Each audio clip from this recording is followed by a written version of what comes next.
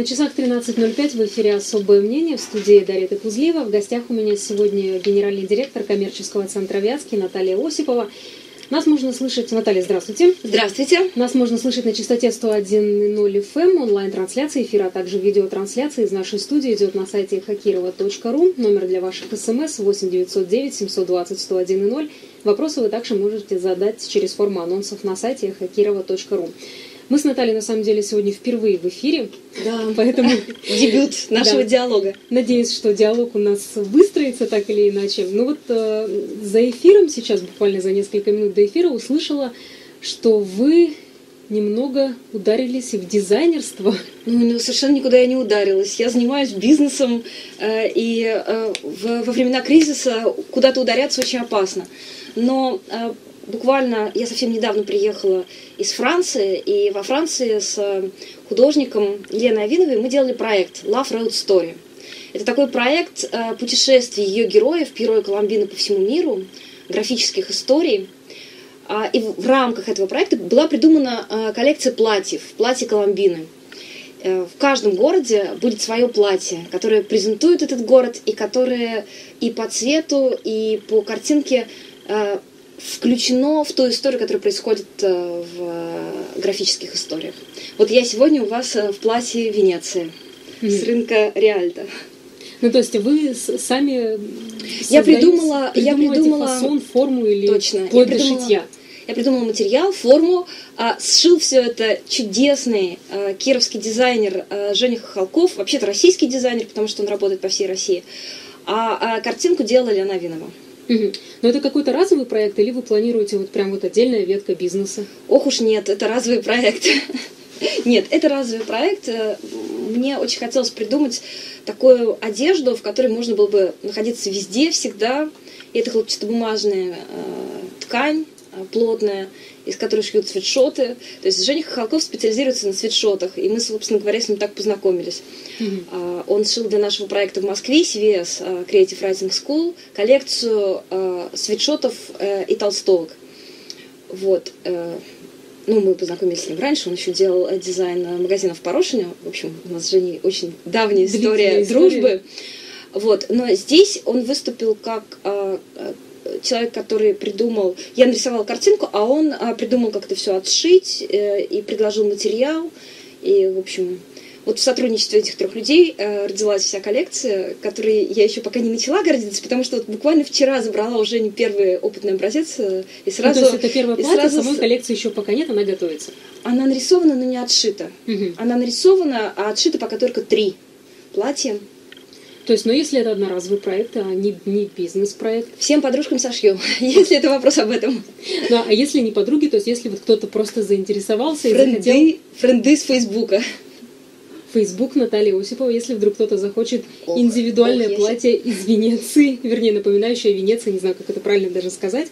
Ну, платье, да, оно не из Венеции, а оно а, называется Венеция, то есть платье с картинкой, Духом. с фотографией Венеции – Парижа и там других мест, э, Анфлера, возможно, Нормандии. Пока э, Киева, Одесса, Парижа, Венеции, Вятки, будет платье Вятка, еще оно не сделано. Москвы, Петербурга, это точно. Может быть, mm-hmm. что-то будет еще. А, тогда еще, еще немного о ваших проектах. Как сейчас продвигается писательская школа? Планировалось осенью, то есть осенью так и осталось или будут какие-то подвижки по времени? С писательской школой э, у нас э, много радостных новостей. Во-первых, э, мы запустили онлайн-школу. У нас э, было много очень писем, что хорошо, конечно, для москвичей вы сделали писательскую школу, но, собственно говоря, э, русскоговорящих, русскопишущих людей по всему миру много, и они очень хотели к нам. Вот, и мы придумали онлайн и записали уже первый курс, первый курс Майи Кучерской «Как писать прозу, теория и практика», уже второй набор. То есть у нас уже сейчас э, прошло 160 человек этот первый курс, и вот сейчас набирается новая, э, уже, вернее, стартовало новое несколько групп. Кроме того, этим летом будет летний интенсив, как всегда в Москве, как всегда в любимой библиотеке имени mm-hmm. Тургенева. Сейчас идет формирование групп, и там будет очень много новых мастерских – частности, э, Михаил Угаров будет вести драматургию, чего никогда не было в Москве. Будет научная журналистика с блистательной совершенно журналисткой Ириной Якутенко, чего еще тоже э, не было. И мы с Еленой Авиновой будем вести мастерскую графического романа. Вот так вот смело будем учить, рисовать комиксы. Графический роман, давайте поподробнее. Слушайте, Что такое графический да. роман? А, на самом деле мы привыкли к словам комикс, или если говорим о Европе, то BD, или если говорим э, о э, Японии, манго. Но э, какая разница между графическим романом, графической историей, нарисованной историей с картинками и всеми этими жанрами? Разница, на самом деле, с одной стороны, той страны, в которой родился жанр, и тех традиций страны, которые в этот жанр были внесены. Например, американский комикс, он родился, рождался и создавался по принципу такой массовой литературы и сериальной литературы. И там э, американский комикс – это комикс супергероев и супергероинь. Ну, это а, первое, да, что нам приходит. Да, европейские комиксы, они родились из э, жанра карикатуры, из очень богатого газетного жанра политической сатиры, политической карикатуры. И а, если американский комикс рисуется за неделю, то европейский, бельгийский, э, французский, они рисуются годами. И это высокий жанр, и э, это произведение искусства. А, очень интересный вопрос, а что же в России? А, конечно же, есть очень богатая визуальная культура русская, соединяющая картинку и текст. Ну, например, русская икона, она же соединяет и картинку, и текст. Или лубок. Но вот мои наблюдения уже как ученого, а я собираюсь ехать в Таллин с докладом о графическом романе, так вот нагло, пока еще не очень, будучи готовой к этому докладу. Так вот, мои наблюдения как ученых говорят, что русская традиция, с одной стороны, визуальная, есть соединение картинки и текста, а с другой стороны, мы все-таки идем через заимствование. Мы синтезируем то, что сегодня в сегодняшней культуре есть в комиксе, есть в европейской э, традиции рисованных историй и есть э, в японской традиции манги. И вот этот новый синтез идет через заимствование, а не через развитие своих э, традиций, что... Ну вот вас такой путь устраивает? Или вам бы хотелось, чтобы мы развивали то, что уже у нас когда-то начиналось. Ну, конечно, Даша, надо развивать свое, конечно. И более того, меня не только это не устраивает, а мы уже сделали первую книжку совершенно в другой стилистике. Опять же, с Леной Авиновой э, мы написали «Шинель Гоголя». Мы написали графический роман, который будет называться «Дело о Шинели», и который уже э, продан в Москве издательству АСТ, и мы очень ждем, когда выйдет книжка, надеемся, что выйдем к осени.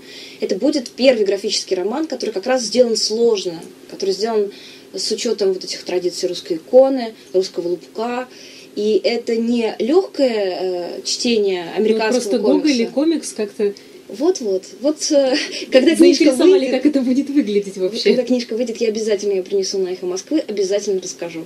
То есть таким образом мы от вас уже ждем две творческие вещи. Это да. И книгу, и платье. Ну, мы перейдем к темам уже, наверное, менее интересным, вернее, более серьезным, наверное. Вятская торгово-промышленная палата рекомендует кировскому бизнесу воздержаться от деловых контактов с Турцией. Сообщение, на самом деле, появилось э, примерно накануне. Мне бы, наверное, даже хотелось бы его зачитать, чтобы слушатели угу. примерно понимали, что к чему. А, коммерческие круги Турции предпринимают активные попытки по возобновлению и расширению деловой активности с индивидуальными предпринимателями, организациями региона, приглашая на различные тематические выставки и конференции. Однако, учитывая общий негативный настрой турецких властей к внешней политике России, в действительности такие выезды российских граждан в Турцию могут использоваться для провокации в отношении россиян. Мы, на самом деле, вчера с коллегами, когда это сообщение увидели, мы немного удивились. Угу. То есть вроде бы на дворе бизнес, ой, бизнес, ну да, на дворе бизнес. Время капитализма, время бизнеса. Да, на дворе кризис, люди наверняка пытаются использовать э, малейшую возможность э, где-то продвинуться, тем более на международном рынке. И тут э, как бы говорят, а вы вот кому-то там не верьте, потому что, возможно, будут какие-то провокации. То есть как сейчас действовать малому, среднему бизнесу в этой ситуации? Стоит ли доверять? Но э, последние годы, вот вы говорите, это новость, в общем-то, может быть, именно это заявление Вятской торгово-промышленной палаты и новость, а тенденция это очень ясна. И тенденция состоит в том, что те э, страны, с которыми Россия не дружит или имеет какие-то политические конфликты, это те страны, которым бизнесу не рекомендуется э, рассматривать в качестве своей площадки. Чем это плохо? Разумеется, я совершенно э, не соглашусь. Я, в общем-то, член Вятской промышленной палаты и в данном случае не поддерживаю ее заявление. Почему? Потому что, э, на мой взгляд и вкус, э, главное преимущество бизнеса в глобальном мире – это возможность выходить на международные рынки и быть глобальным. Вообще мир стал глобальным, мы живем в глобальной деревне. Можно, Наталья, я вас немного прерву? У нас сейчас небольшая реклама, и потом okay. мы продолжим эту тему. Конечно. Особое мнение в эфире мы продолжаем. Дарья Топузлива и генеральный директор коммерческого центра Вятский Наталья Осипова. Мы начали говорить о, о том, что Вятская торгово-промышленная палата предупредила кировских предпринимателей, ну, грубо говоря, не связываться с турецкими бизнес-партнерами, потому что там могут обмануть я не очень знаю о том, э, кто из кировских бизнесменов вообще э, связывался с турецкими партнерами. Зато э, я очень хорошо знаю, как и все наши слушатели, сколько россиян ездило в Турцию отдыхать.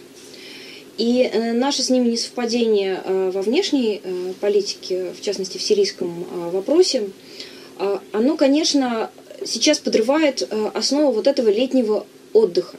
С одной стороны, доллар, евро выросли, рубль упал. И для россиян и так стало дорого ездить за границу. И так. А, и дешевых стран осталось совсем мало, а Турция принадлежала все-таки к такому а, спокойному, надежному и не очень дорогому виду отдыха. И поскольку моря у нас в Вятке нет, то, конечно же, хочется детей вывести на море, да и самим тоже отдохнуть от долгой зимы и погреться. Какая альтернатива Турции? Альтернатива Турции, казалось бы, Сочи, Крым и э, те территории, которые сейчас э, русские и в которых мы ждем развития туризма.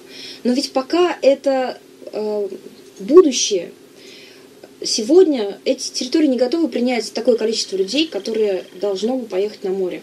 И что же тогда альтернативой Турции является? Или, например, сколько будет стоить сейчас отдых в Крыму? Насколько мне известно, это довольно серьезные деньги, и пока э, не могут конкурировать э, с ценами э, турецких отелей. Я бы даже сказала, что вот Крым и наш юг, они не могут конкурировать по соотношению цены и качества элементарно. В том, в том числе и это. Э, и это очень важно, потому что если люди едут с детьми, им важно, чтобы вся инфраструктура была удобной. Поэтому, конечно, очень это печально. Это на самом деле как тенденция очень печальна. Мы становимся более закрытыми, а это тупиковый путь. Если мир глобален, э, тенденция и попытка закрытости э, даже во внешней риторике какой-то очень неприятный и опасный сигнал. Поэтому я не знаю, мне бы очень хотелось, чтобы Вятская торгово-промышленная палата, наоборот, способствовала налаживанию как можно больших э, контактов кировского бизнеса с внешним миром, тем более, что она этим занимается. И, э, ну да, бизнес просто... выстраивает мосты и связи вне политики, и это же прекрасно. Нас что... просто что удивило, то есть одно дело, когда все это муссируется в СМИ, и то есть, э, понятно, нагнетается, я думаю, там и в их средствах массовой информации, и в наших, но когда поступают уже какие-то вот э, практически там официальные сообщения от организаций, которые напрямую там связаны с кировским бизнесом, то тут уже начинаешь задумываться, что происходит, собственно. Ну да, и тем более, знаете, может быть, мы с Турцией-то помиримся, а тенденция тоже принесет свои плоды. То есть э, связи да. будут порваны и в общем. Итак, ситуация кризиса, она заставляет сейчас бизнес очень сильно крутиться. Э, время мобильное, э, время появления и роста новых бизнесов, умирания и, и разорения старых. Компании сейчас очень, э, все те компании, которые на рынке, очень крутятся, чтобы сохранить позиции, чтобы не уйти в убытки, чтобы э, даже какой-то рост обеспечить, хотя бы mm-hmm. перекрывающий инфляцию. В этой ситуации хочется, чтобы нас поддерживали новыми связями, новый, новыми клиентами, новыми рынками сбыта.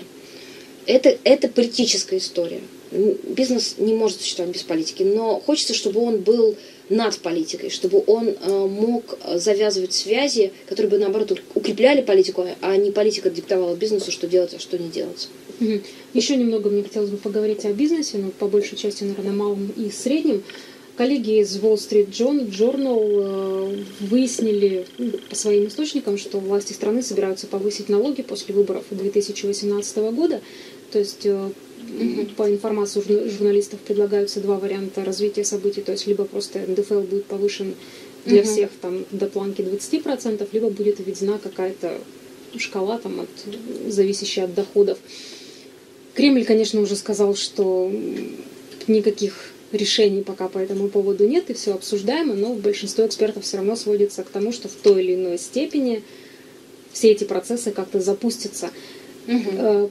Как это вообще может отразиться и на малом, и на среднем бизнесе? Пойдет ли на пользу или наоборот в еще большую пучину? Из того, что знаем мы сейчас, э, я не могу вам сказать, как это отразится и что конкретно будет, потому что что сейчас происходит? Идут всякие разговоры. Э, мы ждем выборов в Думу и выборов президента в 2016-2017 году, соответственно, резких движений в это время происходить точно не будет. С другой стороны, о налогах. Маленькая история. Вот как раз, когда я летела из Франции в самолете, рядом со мной э, в Россию летел э, человек из Австралии. И он расхваливал свою страну, как прекрасно жить в Австралии, а какая у них большая страна, как мало населения, как всем и россиянам, и американцам нравится к нам переезжать. И я спросила, ну а как у вас с налогами? Он сказал, у нас налоги около 50%, это очень хорошо, потому что наши налоги обеспечивают нам э, бесплатное Все. медицинское страхование, потому что они нам обеспечивают вот то-то, другое, пятое, десятое. И меня удивило не то, э, что он перечислял, а его отношение. Ведь он же не пресс-конференцию давал, он просто летел в самолете и говорил искренне о своей стране. И он гордился большими налогами своей страны, потому что большие налоги своей страны – это те налоги, которые обеспечивают высокий уровень удобства жизни в этой стране. И то же самое мы наблюдаем в Европе. Европа живет практически при коммунизме благодаря тому, что у них есть системы высокого налогообложения и высоких социальных гарантий и разных э, механизмов, которые компенсируют э, людям, у которых нет денег, э, более-менее достойный образ жизни. Как относимся к налогам мы? Каждое повышение налогов мы воспринимаем, я в первую очередь, я, знаете, бизнесом занимаюсь, поэтому я считаю, в какой точке очередного повышения налога мы уже не сможем вести бизнес. Мы относимся резко отрицательно. Почему? Ну, потому что мы не видим, куда эти наши налоги идут. Вот я вернулась сейчас в Киров, проехала по нашим дорогам, ну, знаете, мне кажется, что так плохо никогда еще не было. Какая-то просто бомбежка произошла э, за прошедшую зиму. Невозможно ездить по дорогам. Куда уходят эти налоги? Мы не видим, как наше государство тратит наши деньги и не доверяем ему. Поэтому каждый раз, когда речь идет о повышении налогов, мы не радуемся, как радуются австралийцы или европейцы, а наоборот впадаем а, в уныние и а, в общем, в панику, поскольку ну, потому бизнес... что я думаю, что если в Австралии повысят еще налоги, то, наверное, они обрадуются, подумают, вау, значит, нам теперь будут бесплатно делать не только зубы, ну и, не знаю, там, да. протезирование какое-то. А у нас, если повышают налоги, то вряд ли кто-то задумывается о том, что завтра он придет в больницу, а в больнице-то, посмотрите, новый ремонт. Да, вот именно. Мне моя подруга рассказала, она живет в Канаде, она э, русская, родившаяся в Эстонии и живущая сейчас в Канаде. Она мне рассказала, что э, когда был высокий курс, э, э, высокая цена за нефть, правительство Канады людям просто раздало денег. Он сказал, знаете, вот мы продали всю нефть, и у нас появилось больше денег, и каждый гражданин этой страны получил там, 460 с чем-то канадских долларов на свою карточку за то, что высокий курс нефти позволил правительству выплатить вот эти вот деньги. И просто правительство хотело это сделать. Ни за что, по сути дела. За то, что ты гражданин этой страны, а страна ведет успешную экономическую деятельность. Вот давайте-ка представим, что наше правительство, когда была высокая цена на нефть или газ, каждому из нас какую-нибудь копеечку бы заплатило. Мы не можем этого представить. Поэтому очень в большой степени вопрос налогов – это вопрос доверия своему правительству. Ну, то есть мы пока к этому не пришли. Нет, мы пока к этому не пришли. То есть как, как только правительство сделает так, чтобы мы ему доверяли, все люди согласятся с тем, что, возможно, стоит повысить налоги. Ну, в общем, да. В общем, да. Но сколько лет на это уйдет, я не берусь прогнозировать. Думаю, десятилетиями это тоже есть. Это вопрос десятилетий, да. Абсолютно правы. Еще одна проблемная, по крайней мере, на мой взгляд, тема для Кировской области. Буквально пару недель назад в Кирове презентовали новый туристический сезон – Заявлялось э, вроде бы как мероприятие для широких масс, но, несмотря на это, все равно присутствовали в основном люди из туристической сферы. И чаще всего э, о туризме в Кировской области говорят как о способе привлечь э, людей из других регионов, то есть, возможно, из соседних, чтобы к нам сюда ездили. И мало задумываемся о том, насколько вот кировчане сами заинтересованы в том, чтобы ездить по своему России. региону. Или даже, Даже, по Кировской области. да- даже вот не по России, а просто по своему региону. Вот Мгм. если люди не приходят там на презентацию туристического сезона, это можно воспринимать как то, что люди в принципе не заинтересованы в поездках по своему региону? И можно ли вообще заинтересовать человека, то есть проводить свой отпуск не куда-то выезжать, что-то посмотреть, а посмотреть тут у себя? Мгм. Отвечаю сначала на первый вопрос. Можно ли считать, что люди не пришли на презентацию, это сигнал того, что им не интересно? Нет, нельзя. Люди не пришли на презентацию, потому что если они планируют э, путешествие в Уржум или в Советск, то они скорее будут искать знакомых в Уржуме или Советске, чем пойдут э, в официальную турфирму. Второй вопрос. Интересен ли внутренний туризм? Очень интересен. Это действительно растущая ниша. Ровно потому, что рубль упал, и мы теперь себе не можем позволить путешествовать за границу, мы наконец-то стали интересоваться тем, что у нас под носом. А под носом у нас очень многое. И э, у меня, например, был мой личный опыт. Я привозила к себе друзей из разных э, других городов и стран в проект э, Вятского университета лекции в политехническом. Я привозила людей, показывала им э, Киров и Кировскую область. Просто ко мне приезжали, когда я еще работала в гуманитарном университете, ученые, которым я тоже показывала город и область. И я помню, как они все восхищались, как им всем нравилось, как это было интересно. Но вопрос заключался в том, что я им готовила индивидуальную экскурсию и показывала мою вятку, которую я люблю. Показывала те места, которые мне кажутся невероятно интересными. Я всех обязательно возила э, в Краеведческий музей города Слободского, который мне кажется абсолютно жемчужиной, который ну, уникален и простотой коллекции, и ее, э, ее богатством. И, и- это просто совершенно фантастическое место э, с точки зрения понимания, что такое русская глубинка, что такое русский купеческий быт. Я помню, как эти э, мои друзья были заинтересованы. И мне тоже казалось, ну а почему же к нам не едут из Москвы, из Воронежа, из других мест? Вот чтобы создать эту новую традицию, ездить через туристические сайты, через туристические компании, нужно, чтобы прошло время. И первые туристические компании, которые встанут на этот рынок, будут, конечно, долго-долго его раскачивать, долго-долго себя предлагать, убеждать, что это интересно, демпинговать по ценам и предлагать очень хорошие цены. Я просто шляпу снимаю перед этими людьми, но эти люди есть. У нас уже есть прекрасные совершенно прогулки э, по городу Кирову, которые набирают по 30 человек. Это интересно. Нам это интересно. Мы хотим узнать, где мы живем. Мы хотим путешествовать по Кировской области, конечно. Это вопрос времени. Я бесконечно рада, что губернатор это поддерживает, потому что его инициатива и его энергия во многом этот рынок тоже стимулируют, развивают, э, питают. И я думаю, что да, за этим в любом случае будущее. И вот это уже не очень далекое будущее. По моим прогнозам, там, в пределах пяти лет э, это будет очень растущий э, и очень растущий рынок, и очень развивающаяся история. Просто, знаете, вот иногда бывает обидно, когда читаешь комментарии на каких-то форумах или новостях, которые посвящены как раз туризму, и ко мне, там, к моим друзьям тоже частенько приезжали, приезжают гости, друзья тоже из других городов, и порой там и из других стран, и никто еще не уезжал каким-то расстроенным, опечаленным, никто никогда не сказал, что «О, боже, что здесь у вас? То есть это все равно, наверное, вопрос подхода, то есть то, как мы видим этот город. То есть Да. если, если мы идем и Любим показываем все его? это с любовью, то, соответственно, люди тоже воспринимают, вау, как у вас здесь круто, хорошо. А когда ты читаешь, и люди говорят, что тут у нас смотреть, и ты понимаешь, что когда к этим людям приезжают гости, ведь они именно так им и говорят, что я тебя никуда не поведу, потому что у нас здесь нечего смотреть. Ах, Да, я- конечно, Даша, вы права. я опять пропускаю рекламу, на которую мы сейчас прервемся. Особое мнение в эфире в студии Дарья Топузлева. В гостях у меня сегодня генеральный директор коммерческого центра Вятки Наталья Осипова. Мы нач- начали говорить о внутреннем туризме, наверное, о нем сейчас и продолжим. А, Мы начали говорить о той загадке, почему вятские жители не любят свое место, Да, почему мы не что гордимся. Я сама не коренная кировчанка, и мне порой бывает невдомек. Я думаю, как вы же здесь э, родились, как можно так пренебрежительно относиться к собственному городу? Даша, а вы Киров любите? Я люблю, потому А что за если что? бы я его не любила, я бы, наверное, здесь не осталась жить. Ну, э, во-первых, то есть вот э, мне подошел ритм жизни Кирове. О, То есть да. меня там часто спрашивают, почему ты не едешь куда-то в Москву? Бы я хотела уехать куда-то в Москву, Мгм. мне нравилось в Москве, я бы туда уехала. Но мне нравится здесь.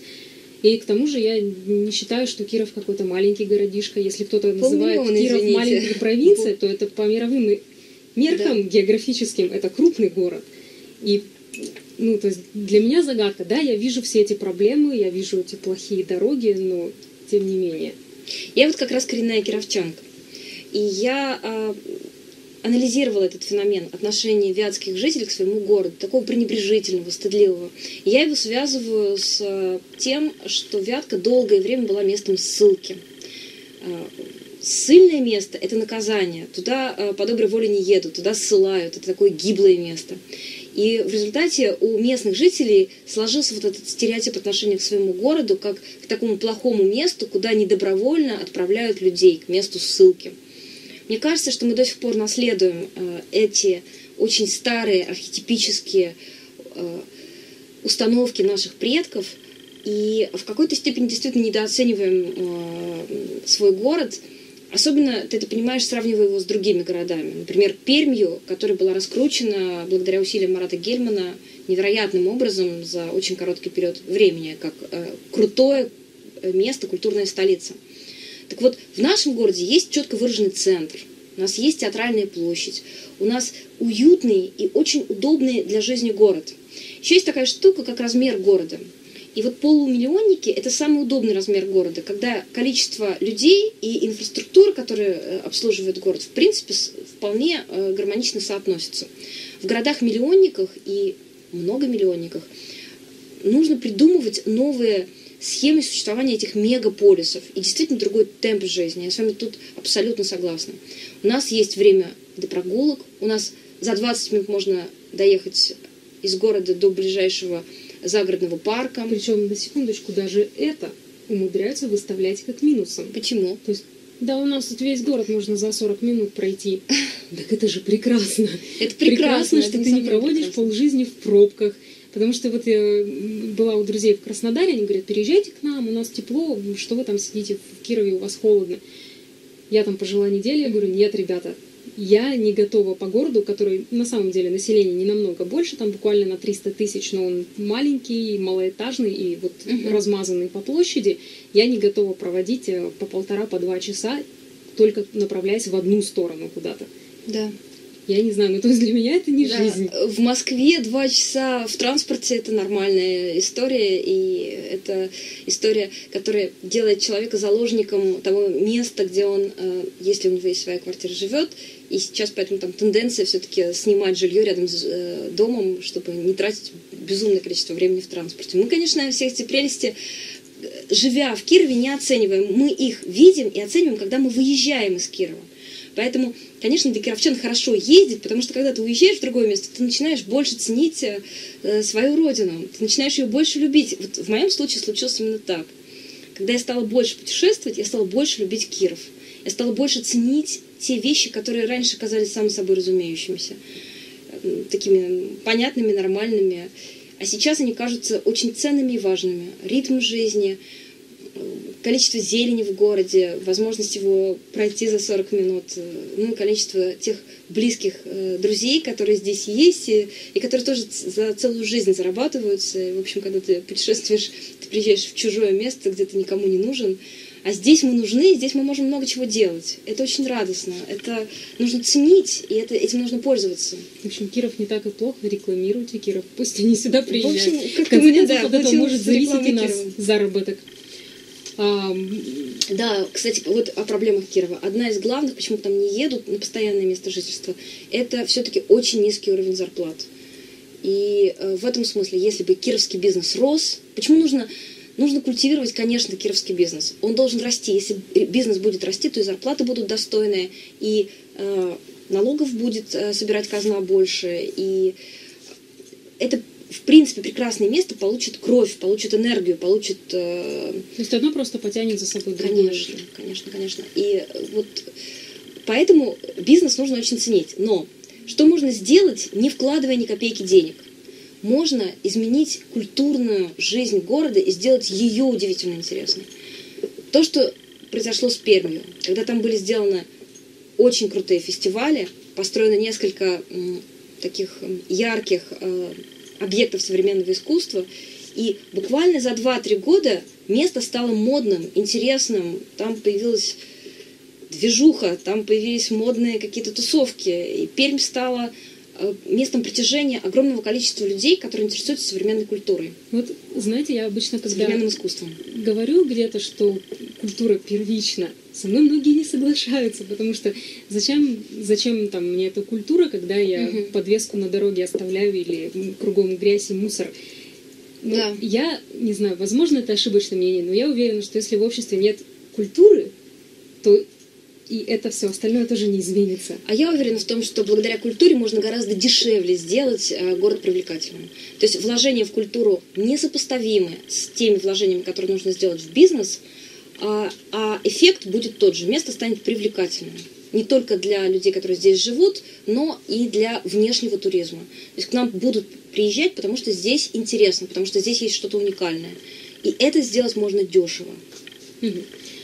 Хотелось бы мне еще обсудить э, тему, которая эту неделю не сходит там с полос сайтов, информационных газет. Депутаты на майское пленарное заседание выносят э, вопрос о смене часового пояса. А, сегодня вот как раз была на комитете, где этот вопрос обсуждался. Две, ну, я бы не сказала даже, что это противоположные точки зрения, просто кто-то выступает за, и немало угу. людей выступают за. Часть депутатов э, считает, что так как э, голоса, по крайней мере, при голосовании на сайте областного законодательного собрания распределились практически поровну, угу. то это еще не повод что-то менять. Ну, то есть угу. пере, переводить э, Кировскую область в часовую зону МСК плюс один. Вот угу. вам эта инициатива вообще как?